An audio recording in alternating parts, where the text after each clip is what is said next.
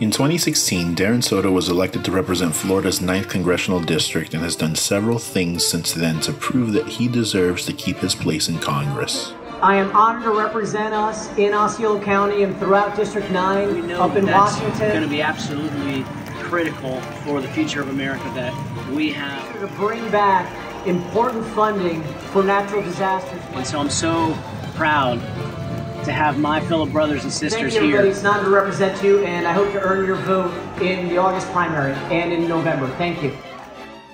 When it comes to climate change, Darren Soto is proud to be the greenest member of the Florida congressional delegation as he pushes for investments in renewable energy sources and for an abundance of other changes to help protect our environment. So, first of all, climate change is real, it is human caused, and it is warming our entire Earth. What it really means is we have more extreme weather.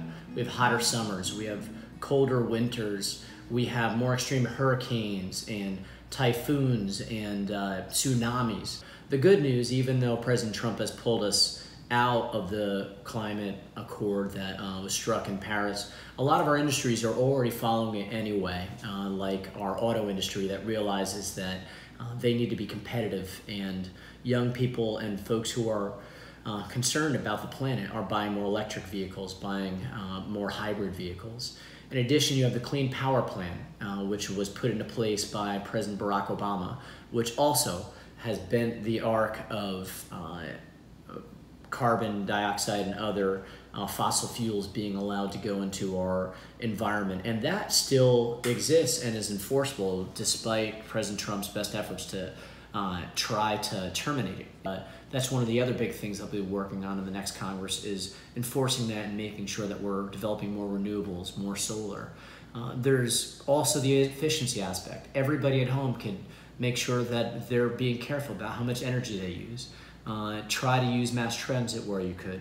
Those of you who can afford it, electric cars are a great uh, aspect to be able to lower your carbon footprint as well as reducing your use of plastics. Uh, so there's a lot of things we can do uh, to help with climate change, and obviously those are all uh, part of a big priority of mine representing Florida and Florida's 9th congressional district, where we're surrounded by water and we're one of the most vulnerable states uh, to climate change. So these are some of the things. Obviously, it's a very complex issue. The issue of gun safety has become increasingly relevant as time goes on, considering all the mass shootings that have occurred just within the past few years. Darren Soto has proposed a five point gun safety plan. So, this is another complex issue and one that's near and dear to my heart. We absolutely need common sense gun safety reform. We saw firsthand here in Orlando with the Pulse nightclub tragedy, uh, where we saw 59 people killed because uh, assault weapons are now legal again. Uh, I put forward a five point plan of issues that I would like to see reform. The first being a ban on assault weapons. Uh, we used to have an assault weapons ban from 1994 to 2004. Since that expired and Congress did not uh, repass it, we saw a tripling of mass shootings and a tripling of deaths.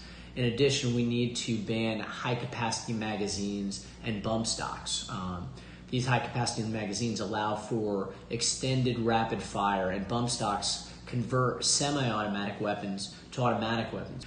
In addition, we need universal background checks. Uh, when you buy a gun from a store, you have a background check. But when you buy it in a gun show or in a private sale, there's no requirement for that. So there's a huge loophole. Then, third, there's the mental health issues. You know, we have uh, um, been able to allow that in Florida, if someone is Baker acted, uh, that they uh, temporarily lose their right uh, to bear arms, and a judge has to uh, find that they are competent to do so again, as well as what we call red flag and, uh, injunctions, which just came about in a law that was passed last year, where if law enforcement arrive on a scene, someone appears to have the propensity to commit uh, deadly violence, they can take away their guns in a temporary way, and then uh, you go in front of a court.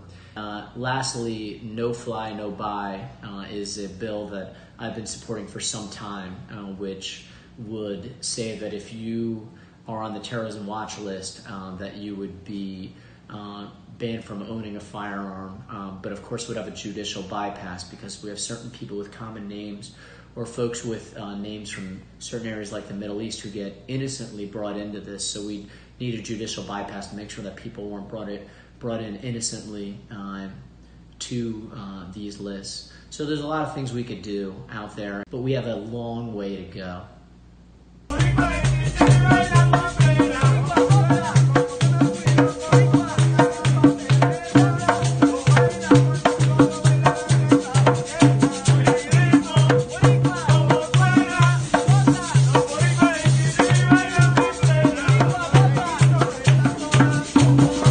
As your re elected official, Darren Soto promises to strive for a better environment and a safer community.